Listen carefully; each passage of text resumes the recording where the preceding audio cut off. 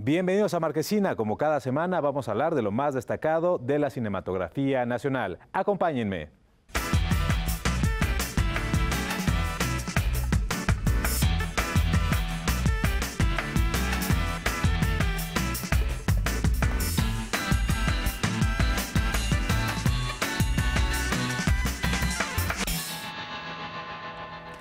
A iniciar este programa hablando del Festival Internacional de Cine de Venecia que se ha convertido en uno de los encuentros cinematográficos más importantes del planeta.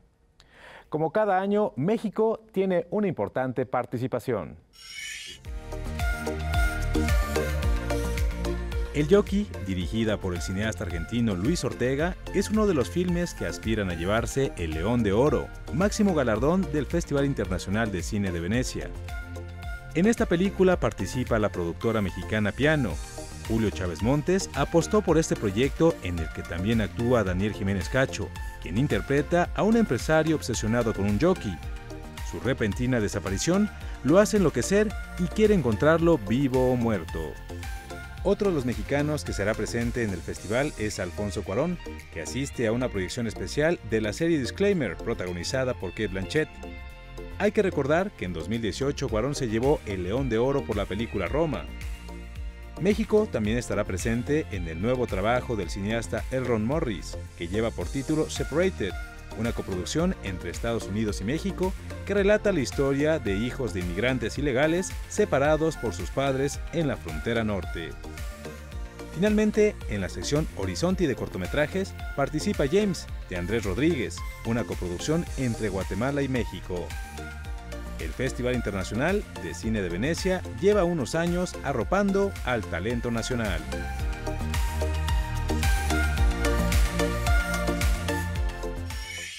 Discos de acetato, videocentros y moda de los 90 es lo que nos presenta la serie Nadie nos va a extrañar. Este es el más reciente trabajo de la cineasta Catalina Aguilar y de Samuel Kishi. Chicos y chicas, su director les desea un gran día de clase lleno de luz. Nadie nos va a extrañar es una serie que nos traslada a los años 90 con un grupo de cinco jóvenes nerds que están pasando por la difícil etapa de la adolescencia en la que intentan sobrevivir a la vida escolar vendiendo su conocimiento.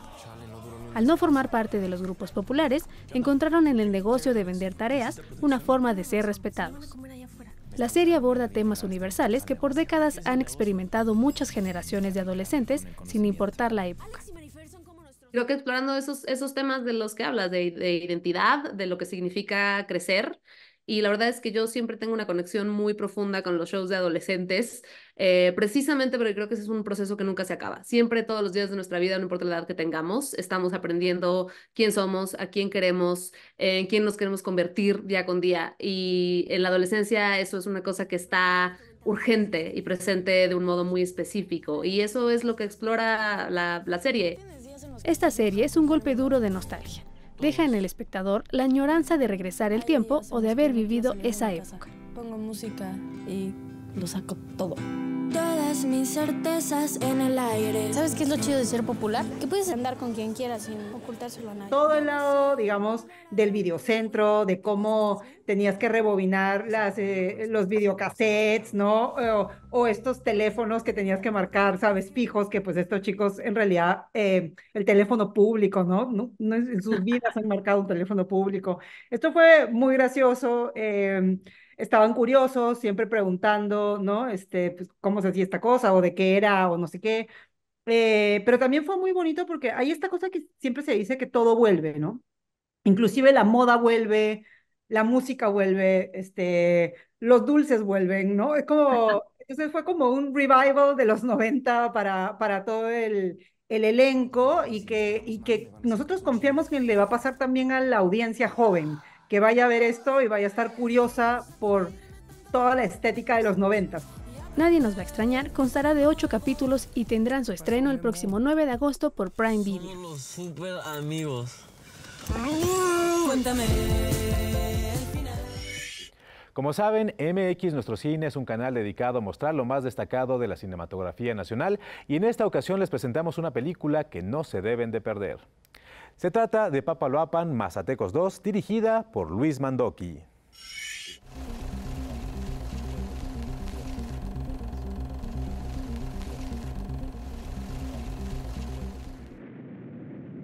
De la lata a la tele, Acervos de México son una serie de archivos fílmicos que forman parte de la memoria audiovisual de nuestro país que exploran los puntos de vista de distintos realizadores audiovisuales en torno a la visión y política indigenista de su época, que podrán verse en la pantalla de MX Nuestro Cine. Papaloapan, Mazatecos 2, del director Luis Mandoki, es un documental que gira en torno de las comunidades mazateca y chinanteca, quienes fueron desplazadas de sus tierras originarias por la construcción de las presas Miguel Alemán y Cerro de Oro. Y diseñó, o más bien opinó, que la manera de controlar la zona baja, donde las inundaciones causan mayores estragos, es construyendo en la zona alta una serie de presas escalonadas para que controlen.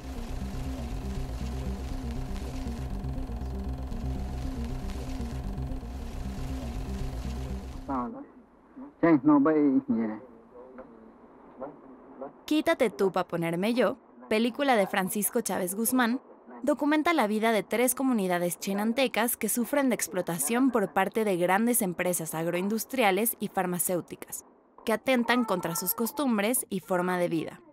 A su vez, retrata los conflictos religiosos que existen en estas comunidades.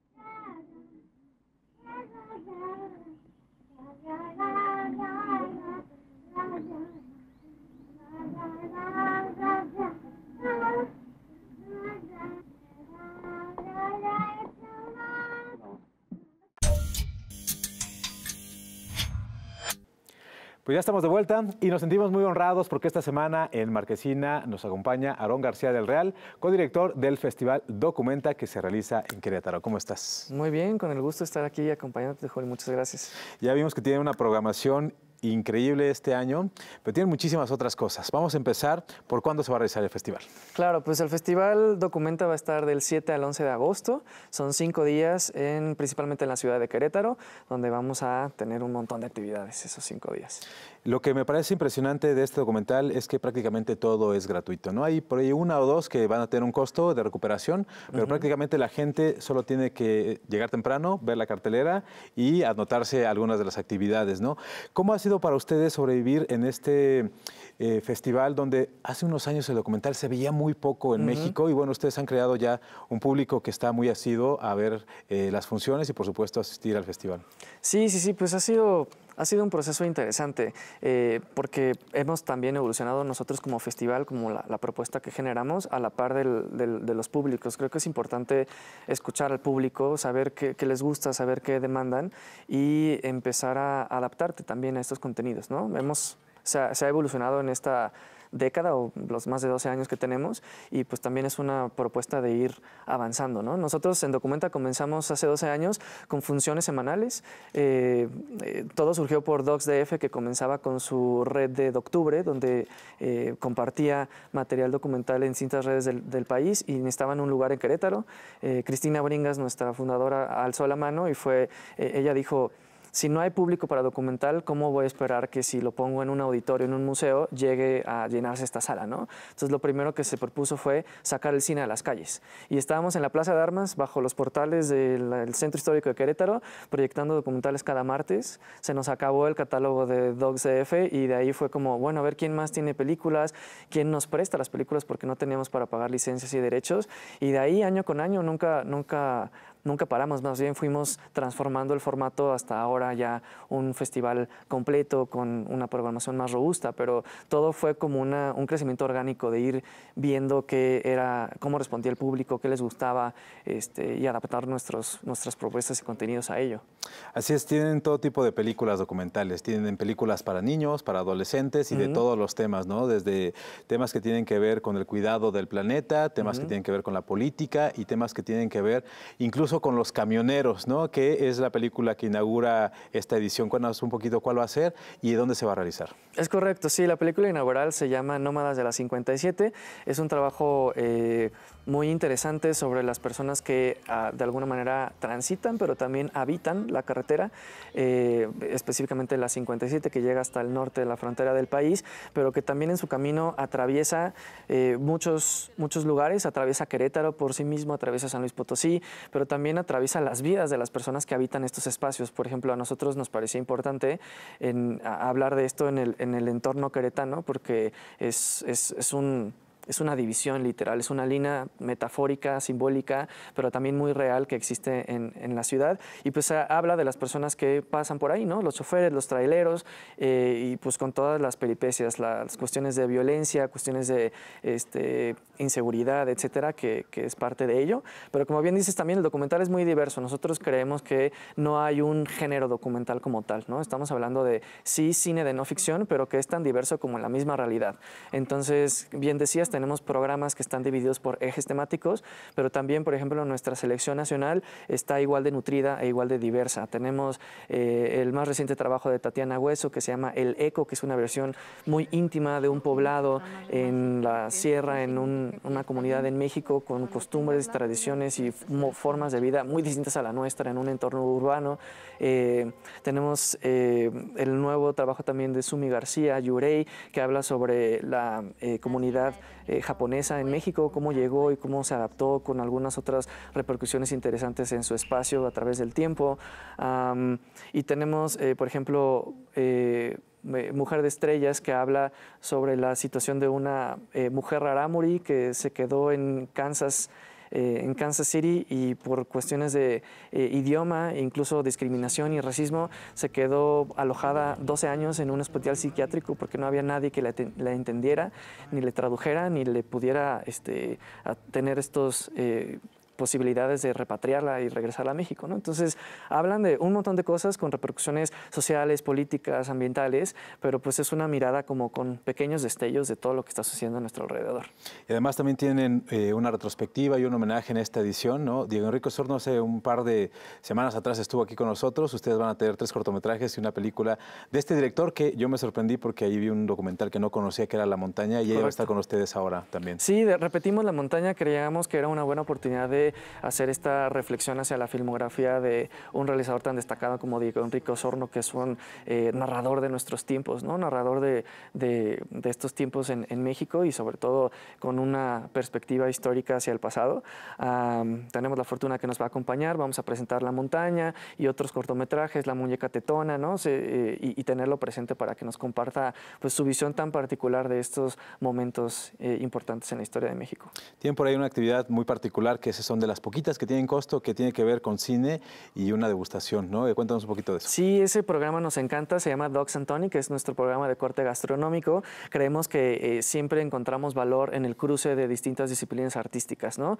En este caso, el cine con la gastronomía, eh, que también consideramos un arte, pero este año le estamos dando un enfoque un poco más social a partir del trabajo periodístico y fotográfico que se llama Recetario para la Memoria, donde trabajan con madres buscadoras, colectivas de, madres buscadoras, específicamente este trabajo es en Guanajuato, en el estado de Guanajuato, eh, honran la memoria de los familiares que están eh, buscando eh, en el territorio de Guanajuato a partir de las eh, recetas y platillos que eran los favoritos de ellos mismos. ¿no? Entonces se hace un libro con el compendio de estas recetas y la idea es prepararlas, algunas de ellas, acompañar eh, a, las madres que nos van a compartir las historias de sus mismos familiares y que todo sea como una eh, pues una comida muy íntima, como si nos invitaran a su casa a compartir esas historias. Eh, incluso vamos a proyectar algunos cortitos ahí de, en este entorno y pues hay una cuota de recuperación para poder eh, cubrir los costos de los platillos y la visita de, las colectivas. Pero sí creemos que es un buen momento donde el cine puede cruzar no solamente pantallas, sino experiencias y si se mezcla con la gastronomía y con este enfoque también de la memoria de, de estas personas, pues nos parece un, buen momento ¿no? para compartir. Así es, lo mejor es ir a Querétaro, a este documental, a, ver este, este festival, se los digo yo, pero si no tienen la posibilidad, también hay forma de verlo en línea. Es correcto. Eh, por séptimo año consecutivo tendremos eh, el contenido, una selección específica de los títulos disponible en plataformas digitales, específicamente en la plataforma de nuestro Cine MX, antes Filmin Latino, ahora nuestro Cine MX. Igual sin costo, solo tienen que crear su cuenta, conectarse y eh, incluso vamos a tener la programación más tiempo en línea. El festival es del 7 al 11 de agosto, pero el material va a estar disponible del 7 al 18. Entonces, para que no haya pretexto, le puedan dar play y pues puedan tener también la función de documentales en su casa, ¿no? Y además tiene una alianza muy importante este año con Canal 22 Internacional. Parte de la programación va a estar pasando simultáneamente por aquí. Sí, es correcto. También eso nos llena de entusiasmo. Mientras podamos llegar, hacer llegar el documental a, más lejos, a más pantallas, nosotros estamos ahí puestos y eh, agradecemos justo que Canal 22, a través de su señal internacional, nos permitirá mostrar igual algunos títulos de la selección nacional en, eh, en el canal. Entonces, para que lo, estén, tengan pendiente, del 7 al 11 de, agosto en las pantallas eh, de la señal internacional del Canal 22 y ya estaremos viendo que igual y podemos seguir repitiendo ¿no? futuras transmisiones para que se siga viendo más documental mexicano. Sensacional. Aaron, por muchísimas gracias por estar con nosotros. Nos vemos en el festival, yo no me lo voy a perder. Y gracias otra vez por estar aquí con nosotros en Marquesina. Un gusto a ti, Julio. Te vemos por allá y a todos también, espero ahí estén en Querétaro. Perfecto. Pues ahí lo tienen, no se pierdan esta décima segunda edición del Festival Documenta en Querétaro. Ahí nos vemos. Nosotros regresamos en un instante. Elena Rodrigo se ha convertido en una especialista en el manejo de archivos. A veces sus búsquedas la llevan a archivos muy ordenados y otras veces se convierte en una verdadera arqueóloga de la imagen. Sus búsquedas le han llevado incluso a la Deep Web. Tengo un problema con A lo largo de más de 20 años, Elena Rodrigo se ha especializado en buscar, organizar y seleccionar materiales de archivo para directores como Carlos Saura o Fernando Trueba. Recientemente participó en el documental Sintiéndolo Mucho de Fernando León Aranoa sobre Joaquín Sabina. Para este trabajo utilizó material de la Filmoteca de la UNAM. Volver a traer eh, esa filmografía de españoles que ustedes eh, eh, acogieron eh, y que no podían hacer películas en España, pero sí en México, y volverlo a traer a través de los archivos en una película en pleno siglo XXI. ¿no? Trabajó con Gais Caurresti y Paola Labordeta en el documental La Bordeta, un hombre sin más, que revela su lado más íntimo a través de un diario que se descubrió durante el rodaje. Yo, claro, decirle a Juana, a, Juana de Grandes, eh, eh, la viuda de él, Juana, esto es un diario, y ella decirme, no, no, Elena, esto, eh, José Antonio no escribía diarios, esto es imposible, ¿no? Pero que esto es un diario, ¿no? Eh, llévatelo, ¿eh? métetelo en el bolso, llévatelo, escóndetelo, no cuentes nada a nadie, esto lo has de leer tú en la más absoluta intimidad y ver si luego lo quieres compartir con el resto del equipo. Al final sí se compartió el diario y cambió un poco el trazo de la película. Cada largometraje tiene su propio reto, Manolo Cabeza Bolo tuvo la particularidad que había mucho material en internet ya muy visto. La solución fue lanzar una convocatoria para que la gente les mandara sus videos caseros. Primero que fue costoso encontrarlos porque eh, nadie los tenía digitalizados ni nada, hubo que digitalizar casi todo, pero no quisimos subir calidades, podíamos haberlo hecho, era sencillo, de hecho se ha gastado mucho dinero en postproducción, pero no en esto. Eh, el sonido está muy bien tratado en el documental, por ejemplo, y bueno, habéis visto las animaciones, eh, eh, son brutales, pero, pero en el archivo no, porque esa es otra cosa. Si queremos contextualizar algo de que ha pasado en los 70 o en los 80, pues la imagen era como era. Regreso a Raqqa es uno de los proyectos más difíciles en los que ha participado. El documental narra el secuestro de un grupo de periodistas a manos de un grupo radical sirio Varios fueron decapitados en vivo y las imágenes le dieron vuelta al mundo. Cuando contamos esa historia, eh, diez años más tarde, eh, pues claro, esto fue duro porque yo soy periodista, porque era una guerra, eh, porque como todas las guerras injusta, y tuve que, que, sabes, ahí escarbar demasiado. Elena Rodrigo también ha colaborado con series como La Casa de Papel o Examen de Conciencia. El segundo episodio habla de los legionarios de Cristo y algunos materiales vinieron de México. México y España se han convertido en los grandes productores de audiovisual en habla hispana. Mestizo Lab busca estrechar aún más los vínculos entre estos países. Por primera vez se realizó en México Mestizo Lab, un foro para el fomento y desarrollo de la coproducción entre México y España. Su objetivo principal gira en torno de la producción audiovisual y las industrias creativas. Los estudios Churubusco y el Centro Cultural España fueron algunas de sus sedes. Está dedicado a la industria audiovisual, a la industria binacional entre México y España, porque, por supuesto, formamos un gran conjunto todos los que eh, hablamos el mismo idioma pero México y España siguen destacándose como ser los dos principales países productores, distribuidores y generadores de programas e incentivos federales. Entonces, en cierta manera, son, un ejemplo de lo que necesitamos nosotros. Se busca que haya un intercambio de información entre los agentes mexicanos y españoles pertenecientes al sector audiovisual, además de que lleven a cabo acuerdos de financiamiento entre estos.